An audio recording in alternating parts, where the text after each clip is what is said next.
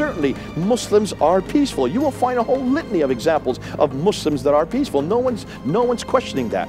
Muslims today are peaceful, especially if they live in the West. They have to be peaceful. We force them to be peaceful. The laws of our land demand that they're peaceful. Of course, I wouldn't expect any different any more than any religion or any ideology would have representatives who are peaceful. That's not the point, and that's not what we're arguing for. I asked him again, could you show me some verses that support this peacefulness? Could you show me any verse in the Quran that tells you you're to be peaceful? So he went to Surah 2, Ayah 2 to 5, which is says, For there is no compulsion in religion.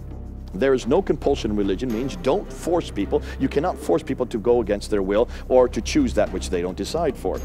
That seems pretty peaceful, at least it seems to me.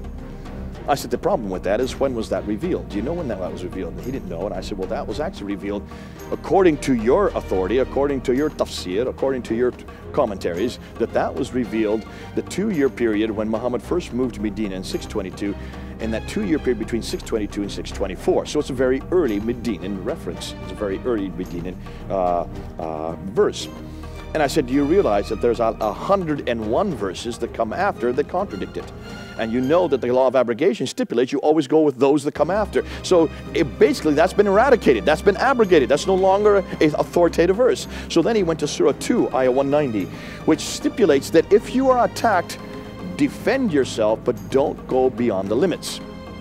Now I asked, well then what are the limits you're not to go beyond?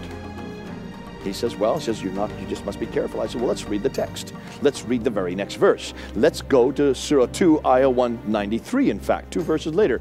There's the context and there is the application. And kill them wherever you find them. So what limit are you to go beyond once you've killed them? That's no longer a very peaceful verse.